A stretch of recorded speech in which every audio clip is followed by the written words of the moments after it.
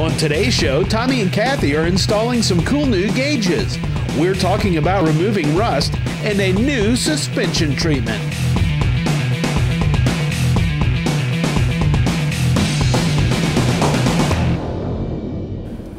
Welcome to Performance TV. On today's show, we're going to do a gauge upgrade on this 32 Ford.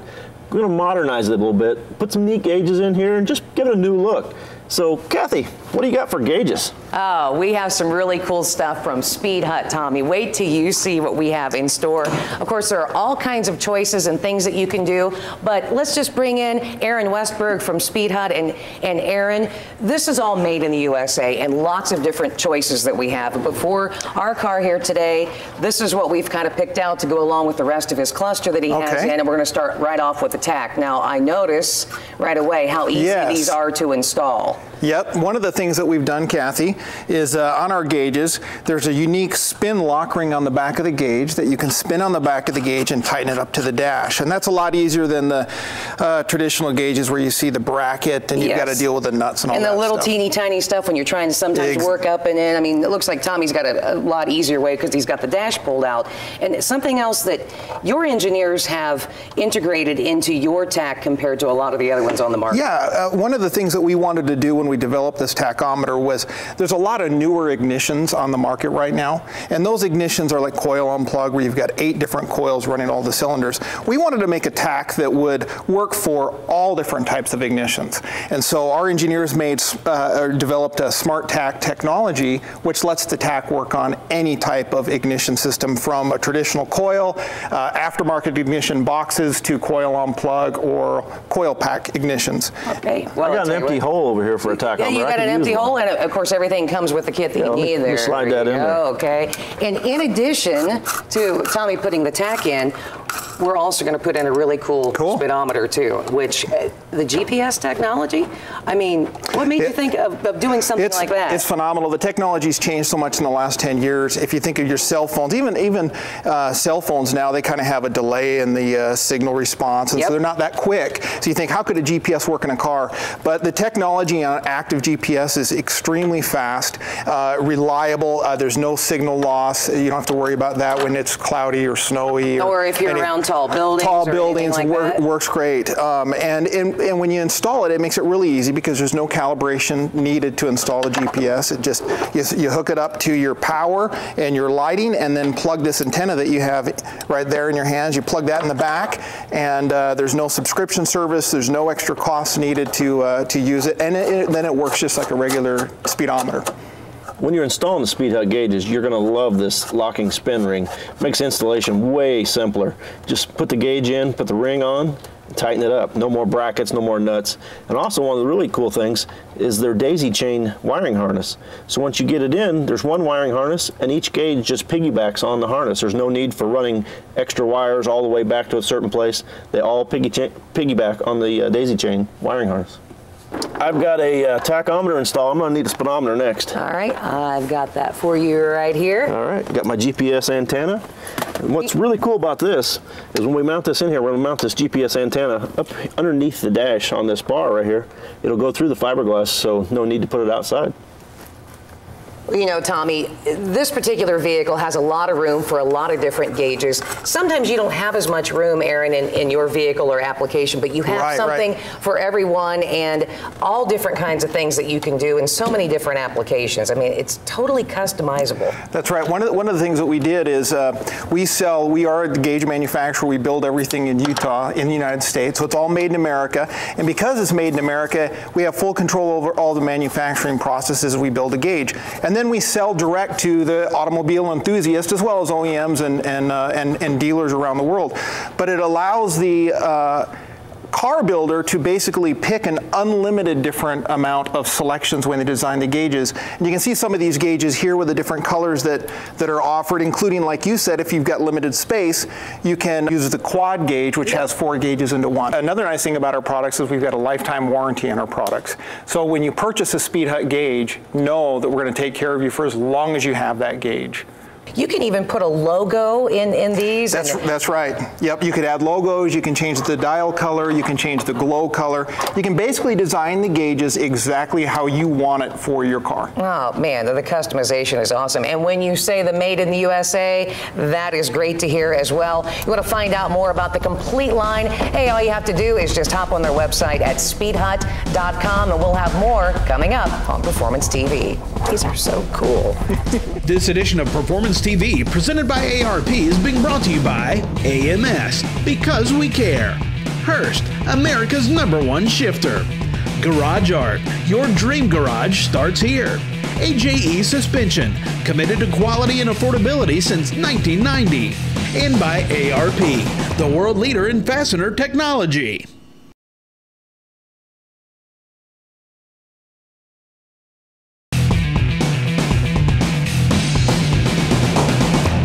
Welcome back to Performance TV. If you're like me, the biggest thing I hate is rust. It's hard to get rid of and it's a lot of work. It's a, it, it's a hassle all the time. But I'm with David Harris, Evaporust. You have a product that makes it simple and, and the rust is gone. That's right, Tommy. We make, uh, we make Evaporust and uh, Evaporust is a non-toxic rust remover. we developed it back in 2000 for the U.S. military. Uh, our product is, was developed so that you can remove rust without damaging anything else, including yourself, the environment, and uh, it removes it quickly and it takes it completely down to the bare metal. But once it gets to the bare metal, it'll stop. Well, one thing that's really neat about this. You, can take parts off and you can put them in it and let it soak and take the rust off. But but products like such as a, the gas tank here on a motorcycle, they get rust inside of them. Well, you can't get inside to sand that off or, or get it off. Evaporust will take it off and just pour it in. That's correct. You can just drop your, uh, pour the Evaporust into the tank, let it soak. If you don't have enough of the product to completely fill the tank, you can soak it on one side, maybe four hours, flip it all the way around until you've soaked every side, drain the uh, Evaporust out, rinse it with water, dry it, and you're ready to go. Now, let's show people, we've got some products here that have some rust on them. Let's show them how easy it is to use Evaporust and get this rust off. Sure. David, let's get started. All we have to do is, is pour it in and, just, and let it work. It's as easy as that. We're just going to dump it into a tub. It can be any kind of tub. Any kind of tub, bucket, tub, bucket, tub. Now, is there any prep work we have to do just removing anything? No. Uh, as far as removing rust, no. Uh, if it has heavy grease, something like that, you probably want to get that off of there. And the reason being, Evaporust is biodegradable and it's easy to dispose of, but if you get a bunch of oils and greases in there, now you've got to treat it for oils and greases. Now, how, how long will this last? I mean, is it a one-time pour in and then you throw it away when you're done? No, absolutely not. It's reusable. You're going to take this product once you've derusted your parts and you're going to either save it in the bucket or you're going to put it back in the jugs for the next time you use it. You can use this over and over and over. Each gallon ought to derust about 300 pounds of parts. Wow. You just keep reusing it until, until it's wore out. Absolutely. Now we've got a fuel tank here and you can see how bad the rust is inside of it. You couldn't get in here and get it out, so we're just going to fill this up to give you an example how it, it takes the rust out of a fuel tank. Sure. All right, let's, let's pour it. some in there. All right. You can see we're not wearing gloves and I'm not wearing our glasses because it doesn't hurt your skin, it doesn't hurt your eyes, it doesn't have much smell at all. If it splashes around, don't worry about it. Now, if you can't take the product off or you want to uh, leave it on the car, you can wrap it and take the rust off as well. That's right. If you got a part that's too big to soak, the easiest way to handle that is take a paper towel, soak it in the solution. We've got solution in this little tub here. And you can see the rust that we've got right. here. We're just going to lay it over the top of it. Make sure it's good and flat. Get all the little bubbles out of it. Lay it over the top of it. Make sure it's flat. Yeah, make you know the, so it touches the surface area. Exactly. Wherever it doesn't touch, it's, it's not, not going to remove. It's not going to remove. We'll wrap it in some cellophane and uh, that's uh, right. Keep just, it keep it moist, basically. Exactly. That's what we're trying to do is just get a good wet contact surface. Now, just let that sit overnight. Evaporust comes in all different sizes. One of the new products you got this three and a half gallon tub here with a little basket to That's keep right. the parts in. We've just come out with the dip basket. We sell we sell Evaporust in quarts, gallons, five gallon pails, and then this is our new three and a half gallon with the dip basket. So if you've got little parts, drop them in there. No having to fish around for uh, screws and bolts in the bottom of your How bucket. How long is this going to have to sit? This needs to sit light rust. It'll do in maybe an hour at room temperature. Heavy rust, you're probably going to need to leave it overnight. These parts that we've got in the tub over there, we need to check on those tomorrow. All right. Well, look at our fuel tank here, David. We, this is what it looked like before, Yeah. and now look at it. Exactly. You, you couldn't do that. You couldn't get inside of there and, and take that rust off unless you poured the uh, the Evaporust inside of it. That's correct. And you you get a nice new tank ready to go. No more rust in your fuel tank. Exactly. What, what about the exhaust pipe that we did a wrap on instead of submerging into the Evaporust? Well, the uh, exhaust pipe we need a little bit more time, but it started like this, and now we're down to, to this. We've got a little bit, a little bit of rust here, but another few hours with the wrap method. It's a little slower with the wrap method, but it would have taken that right down to bare metal. It's got a lot of shine to it now. Absolutely. Now, how about our exhaust? It's still submerged in here. We've taken the other out, but what about this? We have not removed this, but this is what it's going to look like. And now all we have to do is wipe it down and we're good to go. That's right. You want to see where the rust went? There's your rust right there. Well, I've got all kinds of things around my house that are rusty, so I know where I'm going after this. We'll be right back after these messages.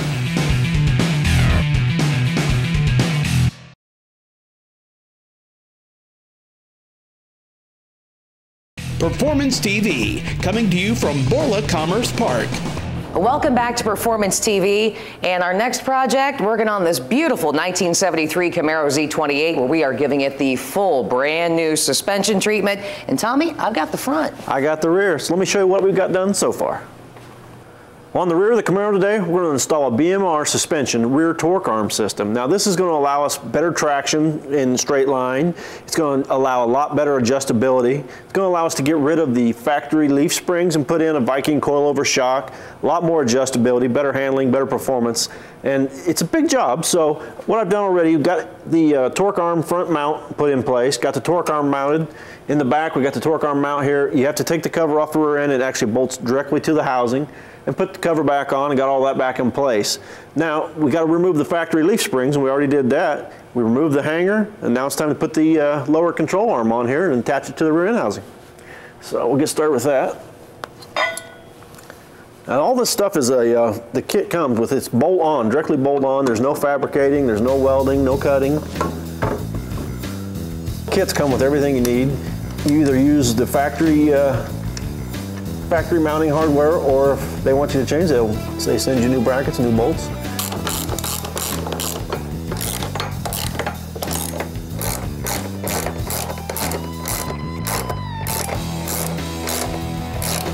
We got our control arm mounted here in the uh, where the leaf spring attached. Now we got to put the lower control arm mount on the rear end housing, and then we'll bolt our control arm to it.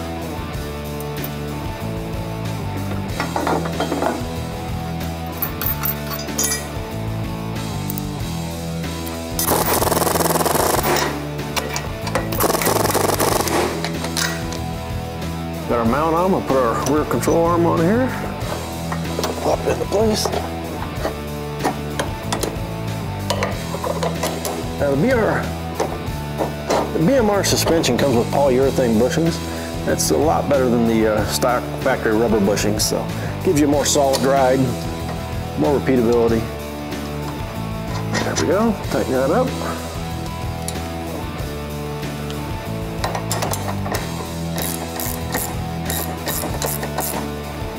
All right, that's tight. Now I've got one more thing to do back here. I'll move on to my next step, but first let's check in and see how Kathy's coming up front.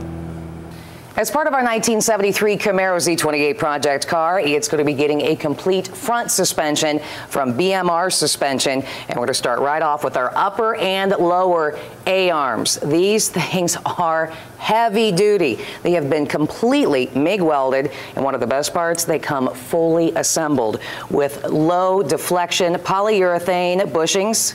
You also have your bump stop and you've got brand new ball joints. You some things to keep in mind when you're making the switch to this particular set of A-arms is you're going to be saving something that we all like to do, especially if we're racing or whatever, and that is weight. Weight robs horsepower, and you're going to save about 10 pounds by changing over to these from stock. Something else you're going to get to do, you have a little more choice when it comes to headers because it's going to give you a little more room inside the engine compartment. And they're pretty simple to put on.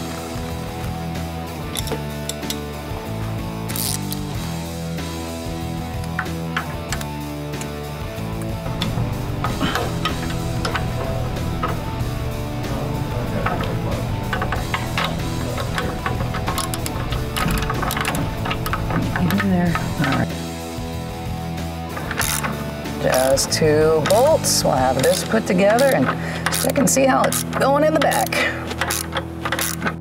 Now it's time to mount this rear cross member.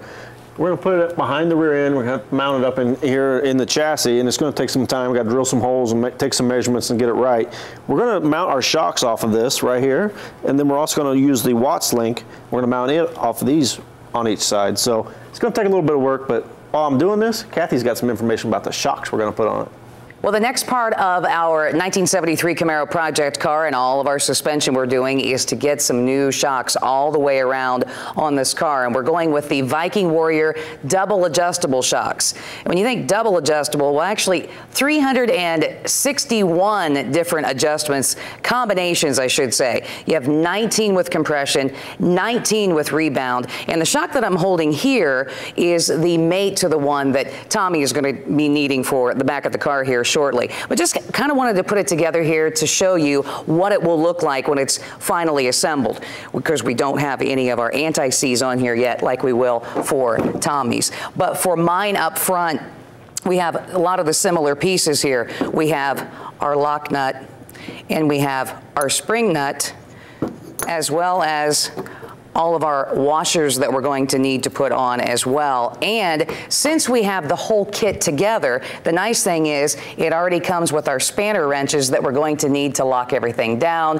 for our adjusting and everything with our, our Viking shocks not only the shocks, but we're also talking about the springs that we have too. And these springs are about 25% more lightweight than you're going to find with your, your standard shocks. The instructions, very nice. And as I talked about all of those different adjustments that you were going to make, well, whether you have like a cruising car or a drag car or what type of ride that you're looking for, it gives you an idea in here of all of the different turns that you need to make, whether on the compression or on the rebound right down to, hey, if you got over 650 horse, they tell you how to get the car tuned and get the shocks just the way you need to get them done. And we'll have more coming up here in just a minute on Performance TV. This week's ARP quarter mile quiz question comes from Dusty. Dusty would like to know In the finals of an NHRA event, a record is broken, but there is no chance to back it up. Will the record stand? Well, Dusty, no, well, you have to have a backup. You can use a previous run from either qualifying or a round of eliminations to uh, get that backup. But no, it, uh, we do require a backup on all records. If you have a question for the ARP quarter mile quiz, send it to the address on your screen. If we use your question on the air, you'll receive an ARP quarter mile quiz shirt.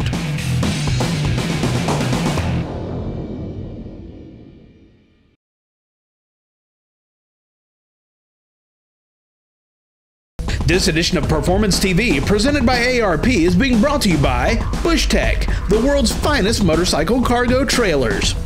Custom Auto Sound, the originator of classic car OEM fit radios since 1977. Flowmaster, the exhaust technology company. Brake Booster, the finest in brake booster restoration since 1983. And by East Coast Diesel, we will not be beat on price. Welcome back to Performance TV. So I've got both of the bolts tightened for our upper A-arm and we have our bottom one partially installed here. The first thing we had to remember to do before we slid this in was make sure to grease it up a little bit, lube it up so it'd slide in and of course work better for us. Our one bolt started here, get our other one going. As soon as I get this tight, all we have to do is push this up and then we can start prepping for a shock. Right, let's check back in with Tommy. Now that we got our cross member mounted in, it has the location we're going to mount our shocks. Coilovers are going to give us a lot more adjustability. We've got where we can adjust the ride height, we can control the uh, rebound on them. Just a lot of uh, neat things we can adjust to get the ride everybody's looking for.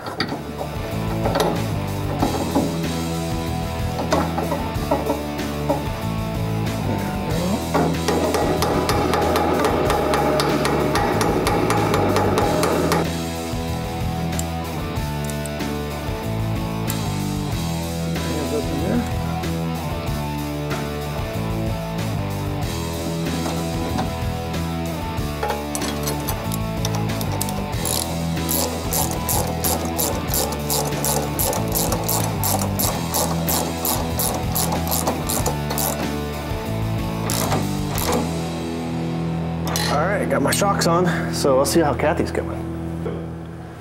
So we have our two nuts up here. Now, this would normally be where we would be putting in the hub assembly, but just to kind of give you a demonstration so you can see how this is all going to lay out, I'm going to just skip that for a minute. We're going to pull up our lower A-arm. The bottom of the shock will attach with two bolts right here at the bottom. And as you can see, what's going to be really nice is once this is all put together, all of your adjustments are really nice and close where you have your rebound and your compression, and of course your locking nuts here where we come in with our spanner wrench it's all going to be nice and neat, like I said, and all those different adjustments that you get to make. What we're going to do now is we're going to go ahead and get the hub assembly in here, and Tommy? Our final step will be to put the Watts link on, but we can't do that until we put the car on the ground. We got to get it on the ground, bounce it up and down a couple times, adjust our ride heights, get everything set. Then we'll come back and put it back up here and we'll mount the Watts link right here. Now this is a superior way for lateral movement and repeatability. This is, this is really going to stabilize this whole rear end. Well, now that Tommy has everything buttoned up in the back, we're going to do the same here in the front with our BMR suspension and our front sway bar. This thing, it's a lot bigger, inch and a quarter solid and solid mounting as well, which we have our polyurethane mounts here and as well as the ones that we are going to start to install here, our end links. Get it here. Now this thing has been cold formed. So it's going to resist torsional fatigue and it's going to help it retain memory. This on, the rest of our bushings in. Up here on top, like that. Well, we're going to get this buttoned up because we've got a lot of things to tighten and torque and adjust. But man, this Camaro is going to ride so much nicer, have a great feel to it. You know what? That's all we have time for this week on Performance TV. We'll see you next time around.